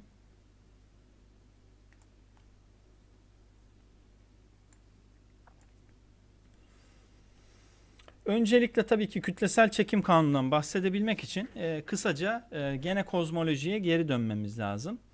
Hemen orada basit birkaç tane e, tanımlama yapacağım. Biraz da böyle ekstra bilgi vermiş olabiliriz. Mesela bakın şimdi bir noktadan bahsettik. Nokta o kadar önemli bir şey ki kara delikler mesela herkesin bildiği bir şey. Kısaca bir kara delik e, teorisini anlatacağım size. Örneğin bir noktanın çekim gücünü izah ediyor bu olay. Bir güneşimiz var ama normalde güneşin büyüklüğünü şu nokta gibi düşünün. Yıldızımız var diyelim. Bir yıldız ki o kadar büyük güneşe göre karşılaştırıldığında. Tabii ki bunun bir sınır değeri var. Yani kütlesinin ve çapının ve enerjisinin büyüklüğünün güneşe göre şu kadar kat olması gibi. Tabii biz astronom değiliz, astrofizikçi değiliz ama kabaca anlatmaya çalışacağım size olayı. Burada şimdi kütle o kadar büyük ki içeride üretilen enerji çok fazla. Güneşin içerisinde çıkabildiğimiz sıcaklık e, şöyle söyleyelim aşağı yukarı 3 milyon santigrat derecelere kadar oluşabilir e, bu şey e, sıcaklık bakmayın. Evet yani elimizde bir yıldız var ki kütlesi, çapı, enerji miktarı çok yüksek. Ve şöyle düşünün işte tek e, atom numaralı işte eleman e, elementimiz hidrojen işte iki atom numaralı e, helyum vesaire gibi element tablomuza baktığımızda bir sürü şey var. Şimdi çok yüksek sıcaklık olduğunda bunlar bu atomlar çok hızlı dönüyorlar. Dönüyorlar dönüyorlar ve fazla sıcaklıkta birbirlerine yapışıyorlar. İki tane hidrojen yapışıyor birbirine. Hop iki tanesi yapıştığı için artık hidrojen helyuma dönüşmüş oluyor. Bakın. E, ve mutlu oluyor yani böylece. Tamam mı? Sonra e, bu süreç devam ediyor. Tabi bu kısa bir süreç değil. sıcaklık artıyor, artıyor, artıyor. 10-11 milyon santigrat derecelere belki ulaşıyor. Böyle bir durumda o içerideki hareket eden atomlar o kadar hızlı dönüyorlar ki sürekli döne döne tabii çok uzun bir süreçte e, belki de o hidrojenler birleşerek demiri oluşturuyor. Düşünün 56 e, atom ağırlığını söylüyorum. O zaman kütle inanılmaz bir şekilde yoğunluğu artmış oluyor. Bu çok büyük yıldızın. Yoğunluğu arttığı için tabii ki biraz ne oluyor? Kütlesel çekimi artmış oluyor. Yoğunluğu artıyor, kütlesel çekimi artıyor. Böylece ne oluyor? Küçülüyor. Kütlesel çekimi biraz daha artıyor. Küçüldüğü için yoğunluğu da artıyor. Derken belli bir sınıra kadar gelebiliyor. Bu güneşte olmaz. Büyük yıldızlarda olur. O sınırın üstünde olacak yani. Sonra öyle bir noktada artık kütlesi tamamen demir olduğunu düşünün. Çok yoğun. Ve artık kendi e, çekim kuvveti ve kütlesi bunu kaldıramıyor. Bir anda parçalanarak yok oluyor bu yıldız. Çok aşırı yüklemeden. İşte bu patlamaya biz süpernova patlaması diyoruz. Ve bu patlama esnasında gezegen, e, yıldız pardon gezegen diyorum, yıldız parçacıkları etrafa savruşurken yıldızın merkezinde küçük bir nokta kalıyor. İşte bu süpernova yıldızının patlamadan sonra kalan çekim enerjisidir. İşte biz tabi bu yorumlara göre, e, teorilere göre buna biz kara delik diyoruz. Bunu nasıl anlıyoruz? Şimdi kara delik çok küçük bir nokta. Çekim, sonsuz çekim kuvveti var ama etrafında nesne yok. Bunu görmüyorsunuz. Uzayda şöyle fark ediliyor bu başka gezegenlerin etrafındaki tozları kendi etrafına çekiyor yava ve döndüğü için o tozlar böyle döne döne bunun etrafında sonra içine girip kayboluyorlar. Bu dönme esnasında bir ışıma meydana geliyor. Şöyle bir ışıma oluşuyor. Işıma yapıyor. Işınlar çıkıyor ve bu ışıklar o delikten kaçabiliyorlar ilk başlarda. Partiküller kaçamıyor, yakalanıp sonsuzluğa doğru gidiyor. Nereye gittiğini bilmiyoruz bakın. Ve e, buraya gittikten sonra bu ışımalarla şimdi partikülü düşün ışınlar kaçıyor belli açılarda. Artık çekim kuvveti o kadar fazla ki bu ışıklar da kaçamamaya başlıyor. Bu ışıkları da geri çeviriyor. Ve en sonunda yüzeye normal olan yani yüzeye dik olan açılar kaçabilirken artık onları da geri çevirmeye başlıyor. İşte bu bir kara deliktir. Kara deliğin tanımı belirsizdir. Ne olduğu belli değildir. İçine maddeler giriyor. Nereye gittikleri belli değil. Ona da tekillilik noktası denir. Yani şöyle bir noktadır bu. Burada bir çekim kuvveti vardır. Bir vatandaş buraya düşse dışarıda dışarı doğru bir çekim, içeride sonsuz bir çekim. Adamı böyle ip gibi çekip uzatır ve kopartır. Ha bunun bu tarafına geçtiğini farz edersek filmlerdeki gibi kurt delikleri diyorlar ya tabi mümkün müdür Allah bilir. Ee, buradan geçtiğini farz edersen burada ne olduğunu hiç kimse bilmiyor. Başka bir zamana gidebilirsin. Aynı zamanda başka bir yere gidebilirsin. Ama bu gittiğin yerde bizim dünyada kullandığımız matematik fizik geçerli değildir artık. Burayı bilmiyoruz çünkü. İşte bu çok önemli kara delik teorisi. Bunu e, kullanıyorlar ve şu manada anlatmaya çalışayım. Basit Newton hesaplarının yanlış olduğunu biz biliyoruz. Bunu e, Eddington isminde bir ilim adamı 2. Dünya Savaşı başlarında keşfediyor. Einstein diye birisi bilinmiyor. Bu Eddington İngiliz Kraliyet Akademisi yöneticisi makaleleri okuyor, hesaplar yaparken Plüto gezegeninin hesaplarının hatalı olduğunu çıkartıyor. Newton hesapları tutmuyor. Kraliyete sunuyor. Diyorlar ki Newton yanlış yapmaz. Hayır. Bu adam diyor ki hayır yanlış bu. Hesapları doğru değil. Sonra makaleleri okurken Einstein isimli bir adamın makalesini görüyor. Ki Einstein makalesini onlar 10 küsür sene yayınlatamamıştır. Bu ne saçmalık deyip reddetmişlerdir hep. O da ayrı bir mesele. Aynı Türkiye'deki işte e, bazı insanların işte yapılan ilmi kabul etmemesi gibi. Yani bazıları yaptığını farz şey yapıyor. Öbürleri diyor ki yok bu adamın yaptığı dişe dokunur değildir gibi. Yani bütün dünyada var bu. Türkiye demeyelim de. ispat etmek için uzun yıllar uğraşılıyor yani. Sonrasında ne oluyor? Ee, bu Einstein'ın dediği şey şu. Hemen çok hızlıca size şurada çizmek istiyorum. E, Einstein tabi bir sürü teorisi var. Dört tane e, görelilik kuramı var zaten. Ama ben bir tane olaydan bahsedeceğim. Mesela enerji kütlenin enerjiye dönüşmesi E eşittir mc kareyi biliyorsunuz zaten. Ama Eddington'ın bahsettiği olay ve gördüğü hata Newton denklemlerindeki hata şu. Şimdi genel çekim kanununu anlattığım için buraya girmek ihtiyacı hissettim. Ee, örneğin güneş burada ve güneşin çok arkasında bir yıldız var. Şimdi Einstein'ın dediğine göre bir insan dünya yüzeyinden baktığında şimdi Newton'un dediğine göre pardon önce Newton'u söyleyelim. Baktığında diyor yıldızı burada görürsün. E güneşi de olduğu yerde görürsün iz düşümüne bakarsan. Einstein diyor ki hayır. Yani Newton'un kütle çekiminde cisimlerin ağırlığından dolayı cisimlerin kendisini kendine doğru çeker diyor Newton. Ki kütle çekim denklemini yazacak olursak gravitasyon denklemini F eşittir gravitasyon evrensel gravitasyon sabiti G büyük nesnenin kütlesi küçük nesnenin kütlesi bölü ara ikisinin arasındaki uzaklığın karesidir. Formül bu. Büyük nesne küçük nesneyi çeker. Burada da şu var. Şişman bir adamın yanına zayıf adamı koy bu adamı çekmez. Orada da belli bir kütle sınırının üstünde olunmalıdır. Bu da kozmolojik bir olay yani. Büyük cisimler arasında gerçekleşiyor. Ee, ondan dolayı e şimdi şöyle bir şey var. Eddington denen adam bakıyor. Ya bunu nasıl kanıtlayabilir? İngiltere'de kanıtlayamayacağını fark ediyor ve Güney Afrika'da e, o zaman bir tutulma gerçekleşecek. Güney Afrika'da balta girmeyen ormanlarda ışığın daha az olduğunu düşünerek gemilerle oraya gidiyor. Günümüzdeki fotoğraf makinesi yok tabii ki. Koca koca kartlar taşıyorlar sırtlarında. Bir kart ve bir sürü kart hasar görüyor. Yağmur yağıyor. Bulutlar çöküyor tutulma esnasında fotoğrafı çekemeyecek adam.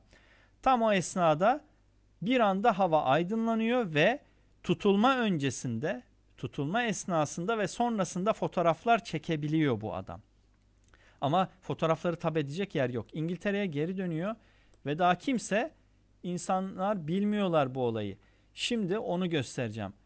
Newton'un teorisinde baktığınız yerde görüyorsunuz yıldızı, gezegenleri ama yakınındaki nesneleri güneşin ışığından dolayı buralardakileri göremiyorsunuz normalde. Güneşin ışığı orayı bloke ediyor. Tutulmada bunlar ancak görülebiliyor. İşte tutulma esnasında e, Einstein'ın teorisine göre Einstein diyor ki sadece kütleyi değil e, yıldızlardan gelen ışığı da kendine doğru çeker diyor başka kütleler. Millet bunu anlayamıyor işte. Yani Einstein'ın dediği şu. Bu gezegenden çıkan ışık böyle dümdüz gelmez diyor. Güneş nasıl kütle çekimi var başka bir gezegeni kendine çeker. İşte burada gelen yıldızdan gelen ışığı da diyor kendine doğru çekecek ve bükecektir diyor ve yıldızı burada göreceksiniz diyor Einstein. Millet bunu anlamıyor. Eddington fotoğraf, çektiği fotoğraflarda bakarak şunu söylüyor. Biz diyor hem öncesinde hem sonrasında fotoğraflarımız var.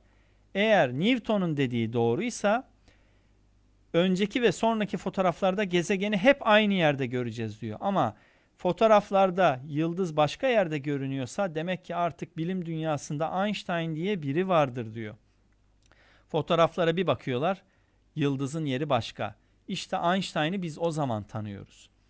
Ve kütlesel çekim kanunu ki günümüzde ileri teknoloji roket sistemlerinde, balistik sistemlerinde, e, uzay mekiği hesaplarında kullanılmaz. Bunun yerine Einstein mekaniği veya yani çok basitçe söylüyorum tabii ki ileri düzey denklemler kullanılır. Basit Newton denklemleriyle bu hesaplar yapılamaz. Yani örneğin şunu düşünün. Dünyadan mekik fırlatılacak, aya gönderilecek Ay'a siz böyle paldır küldür dik açıyla mekiği fırlatmıyorsunuz. Dünyanın dönme ekseni var. Bu şekilde açılı dönüyor. Tabii ki nasıl Filistinli çocukların silahları var. Ne o silahlar? Vatandaş elinde bir ip var. İpin ucunda taş var. Bu taşı çeviriyor. Bir noktada bir tur duruyor. Taş ipin etkisiyle sapan gibi fırlıyor merkezden. İşte dünyanın o etkisini kullanıyoruz biz. Dünya dönerken atıyorum Cape Canaveral üstü tabii ki belli zaman rastgele bir saatte fırlatılmıyor. Aylar boyu hesaplar yapılıyor. Hangi gün, hangi saatte fırlatılacağı kesin. O yüzden sabaha karşı 3'te fırlatılıyor. Akşam 8'de fırlatılmıyor. Herkes görsün diye fırlatılmıyor. Abuk subuk vakitler oradan çıkıyor. Dünyanın sapan fırlatma gücünü kullanıyor. Dünyanın atmosferin etkisinden çıkıp yer çekiminden kurtulabilmesi için mekiğin aşağı yukarı fırlatma hızı günümüzde 40 bin kilometre bölü saat hızlardadır. İnanılmaz büyük hızlara ulaşabilmesi için de çok büyük yakıtlar kullanılır. Mekiklerin %80'i yakıttır belki. Yakar yakıtı aşağıya fırlatır. Sonunda küçük bir mermi gibi bir şey kalır. Mekiğin uç kısmı kalıyor yani. Bu uzaya çıktı. Bu da rastgele patladanak inmez oraya. Ne yapar? Bu cisim de dönüyor sonuçta. Ay da dönüyor. Gider onun etrafında yavaş yavaş yavaş yavaş tanjant, teğet olacak şekilde iner. Hasarı en aza indirir. Öbür türlü mermi gibi çakılsa paramparça olur. Bunlar da kabaca e, bu konudaki bilgiler. Ve Einstein'ın dediği olayı şu şekilde tarif edebiliyoruz biz. E, kütle çekimine baktığımızda mesela bir çarşaf düşünelim. Dört kişi bu çarşafı kenarlarından tutuyorsa gerdirerek tutuyor. Ve ortasına bir bowling topu bıraktığınızda bu çarşafın ne olur? Ortaya doğru şöyle bir eğim gösterir. İşte Einstein de kendi çekimini bu şekilde gösteriyor. E, buradaki çekimi, 3 boyuttaki çekimini böyle gösteriyor. Şimdi e, arkadaşlar şeyden bahsedeceğim. E, maddeden mad Evet burada Einstein'ın e, söylediği durumu bu şekilde anlamış oluyoruz. Yani buradan küçük bir top bıraktığımız zaman faraza bu topun yuvarlanmasıyla e, merkezdeki bowling topuna gitmesi işte bu şekilde bir e, spiral döngü. Yani hem bu düzlemde hareket ediyor ama, ama aynı zamanda aşağıya da doğru iniyor. Üç boyutlu bir hareket olduğu söz konusu. Ve bunun yerini de e, tam olarak doğru bir şekilde tayin edebilmek için Einstein tabii ki dördüncü bir eksenden daha bahsediyor. Yani konum yetmiyor. E, zaman da bükülüyor aynı şekilde. Ve bundan dolayı zaman eksenine de ihtiyaç olduğunu söylemiştir. Bundan dolayı da işte çok ileri düzey hesaplamalarda Einstein mekaniğinin faydasını görüyoruz diyebiliriz. Şimdi tabi bu konuya çok da fazla e, ilerletmemek lazım ama bizim konumuzun e, bağlı bulunduğu güzel e, kozmolojik olaylar olduğu için bunlara değinmek istedim. Şimdi formül üstünden gidecek olursak formülümüzü yazdık. Gravitasyon formülü. E, bu da işte bizim altıncı mekanik için olan e, ilkemiz, altıncı ilkemiz olacak. Bundan dolayı cisimler arasında işte bu gravitasyon kanunu incelemeye baktığımız zaman, incelemeye başladığımız zaman hemen şöyle bir görüntü paylaşayım sizinle. İşte büyük kütle, küçük kütle, ikisinin arasında da F kadarlık bir kütle var. Bu şekilde biz bunu ifade edebiliriz. Burada tabi gravitasyon sabiti dikkate alındığında e, şöyle söyleyelim. Hatta İngilizcesini söyleyebiliriz. Newton's Law of Gravitation diyebiliriz. Burada R e, iki partikül arasındaki mesafe ya da D diyelim. Bazıları R diyor, bazıları D diyor. E, G universal e, gravitasyon sabiti veya evrensel gravitasyon sabiti diyebiliriz buna. O da yazalım. G eşittir 66.73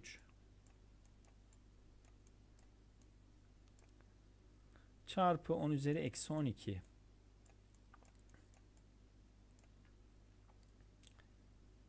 dir. Birimi ise metreküp bölü kilogram saniye karedir. Şimdi buradan da e, şunu yapacak olursak mesela bu formülde genel formülde şu kısmı alalım. İşte buna biz bildiğimiz ve sizin de hatırladığınız kadarıyla G diyoruz. Yani yer çekimi ivmesi diyoruz değil mi? Yer çekimi ivmesi diyoruz. Ve o zaman buradaki formülden hareketle biz bunu düzeltirsek yer çekimi ivmesi bir kütlenin, kişinin kütlesinin ağırlığa yani kuvvete dönüşme haline bakacak olursak F burada M çarpı G. Yani biz onu ağırlıktan dolayı F'i ve V diye, omega diye yazıyoruz. Weight'ten dolayı. Ve bu M çarpı G'ye dönüşmüş oluyor. Yani kütle çarpı yer çekimi ivmesine dönüşmüş oluyor. Şeklinde de yorum yapılabilir. Hatta şöyle bir görüntü paylaşırsak daha da iyi olur zannımca.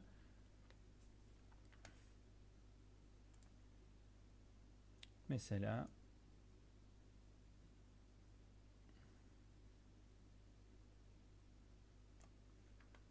burada hem bir dünyanın görüntüsü tabii ki dünya olmayabilir ay veya başka bir şey de olabilir ve üzerinde de bir partikül var. Bu partikülün tabii dünya yüzeyine olan veya işte büyük cismin yüzeyine olan mesafesi çok küçük.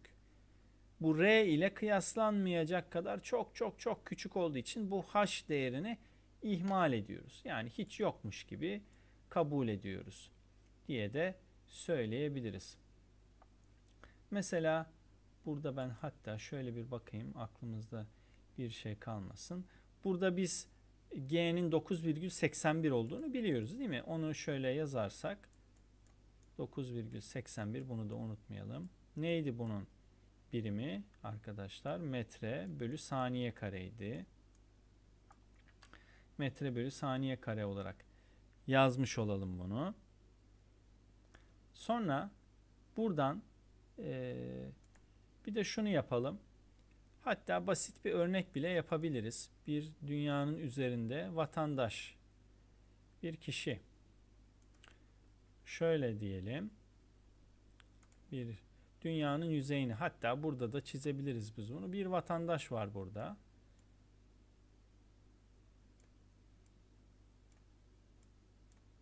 İşte burada duruyor, takılıyor, bir şeyler yapıyor artık. Ondan sonra bu vatandaşın ağırlığı 70 kilogrammış. Sonrasında Newton'un çekim yasasını kullanarak hesabımızı yapacağız. Bir de klasik MG'den hesap yaparak karşılaştıracağız. O zaman formülümüz direkt burada yazalım. Ee, FG diyelim gravitasyon kaynaklı kuvveti bulabilmek için. G değerimiz zaten burada. Bunu direkt alıyorum. Kopyalayalım.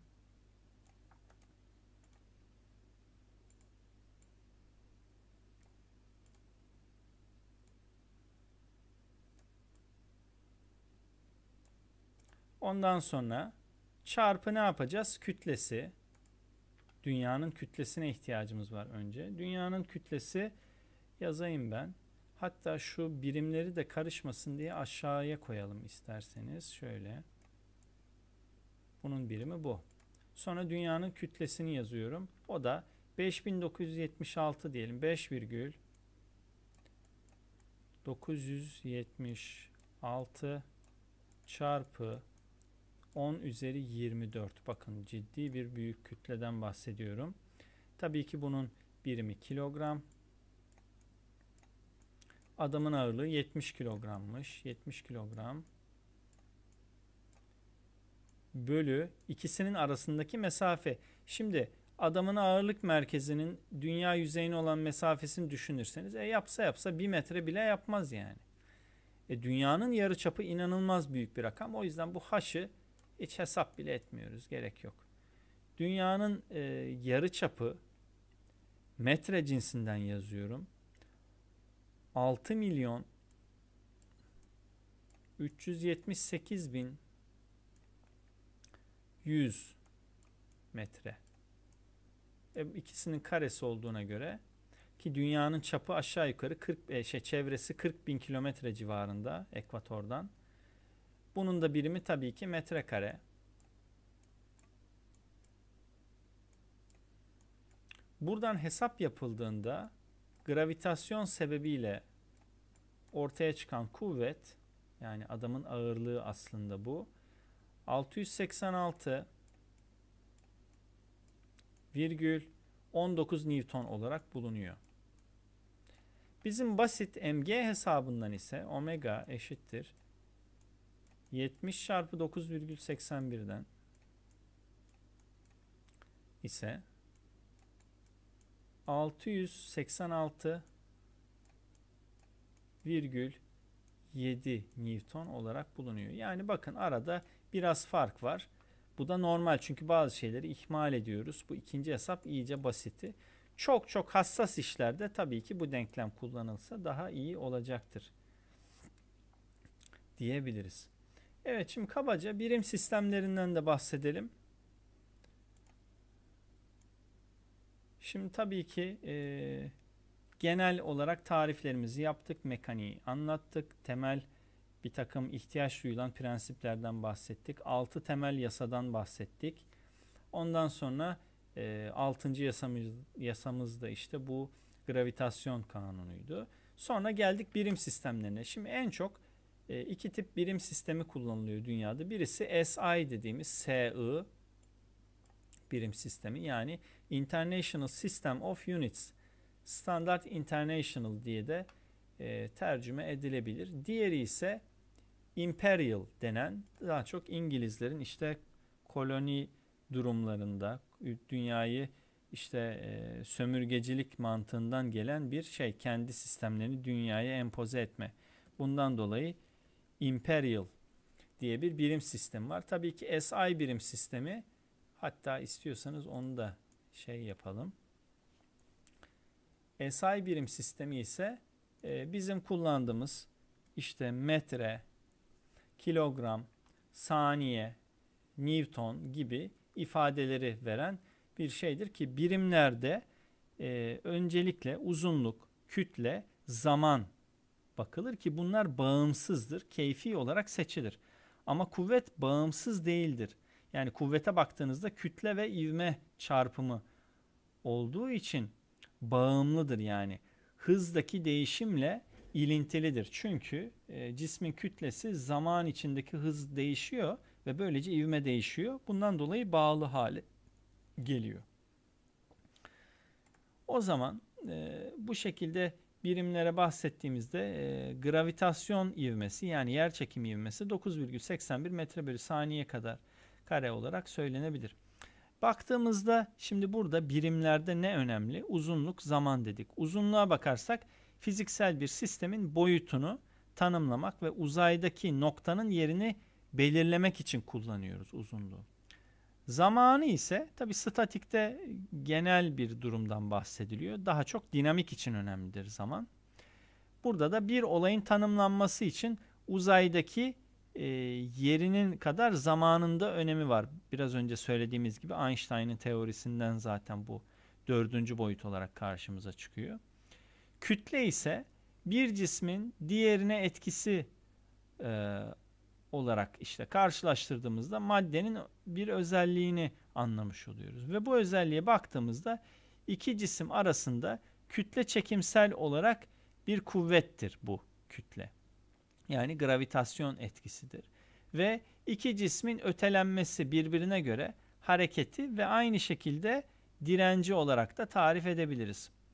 Kuvvete baktığımızda ise söylemiştik kuvvetin e, tatbik noktası, doğrultusu, şiddeti, yönü vesaire gibi de ifade etmiştik. Şimdi SI birim sisteminde yani bizim kullandığımız standart birim sisteminde e, kat sayılar var. Yani üsteller diyelim bunlara.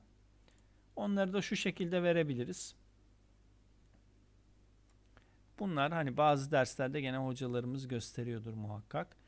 Ee, burada exponential form dediği üstel ifadeleri yani burada baktığınız zaman e, işte bir e, milyarlık bir ifade için 10 üzeri 9 tarifini kullanıyoruz üstel olarak ve bunu giga söylüyoruz. G ile gösteriyoruz SI simbolün, sembolünde.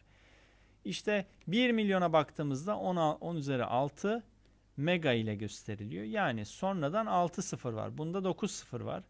Binde 3 sıfır var gibi. 10 üzeri 6'yı mega ile gösteriyoruz. Büyük M. 10 üzeri 3'ü kilo ile gösteriyoruz. Küçük k. 0 virgül yani e, işte binde 1 diyelim. 10 üzeri eksi 3 oluyor. e, mili küçük m. 10 üzeri eksi 6 mikro mikron işareti bu. 10 üzeri eksi 9'da nano n ile gösteriliyor. Sonrasında işte e, imperyal şey ile e, klasik hesapları da karşılaştırırsak ki bunlar lazım oluyor. Çünkü küresel ölçekte çalıştığı için artık birçok firma sadece işte e, metre, kilogram, saniye yani MKS olabilir veya CGS santimetre, gram saniye olabilir. Çalışmıyor da ilave olarak inç, libre yani pound, force, e, foot, feet, yard gibi imperyal ifadelerde kullanılabiliyor. Burada da onu göstermiş olalım. İşte kuvvete baktığımızda 981 tabi bu e, birkaç farklı şey var. E, hepsi de birbirinin aynısı değil. Ben kabaca bazı şeyleri burada gösteriyorum. İşte 981 Newton 2.20 e, pound force yapıyor. 1 pound force 4.45 Newton ya da e, terse çevirirseniz bu şekilde. E, 32.2 pound force 143.2 Newton gibi ama yer çekimi hesapları yaparken işte bunu kullanıyorsunuz. E, G çünkü metre bölü saniye kare. Biz burada pound force gibi buna yakın bir değer kullanıyoruz. E, imperyal olarak yer çekimini hesaplıyorsanız. Feet, foot'a baktığınızda 1 foot 0.305 metre bir ayak demek bu. Ama 2 foot demiyoruz. 2 feet oluyor. 2 ayak işte 0.6 metre gibi. Uçaklar nasıl? Mesela 30 bin feet'te uçuyor. Yani aşağı yukarı ne yapıyor bu? 10 kilometre gibi bir şeye tekabül ediyor. İnç de önemli. E, piyasada inçe parmak derler çünkü işte 1 inç böyle gösterilir. Bunu parmak gibi tekabül ediyorlar. Bu da işte e, 25.4 milimetreye denk gelir. 1 inç.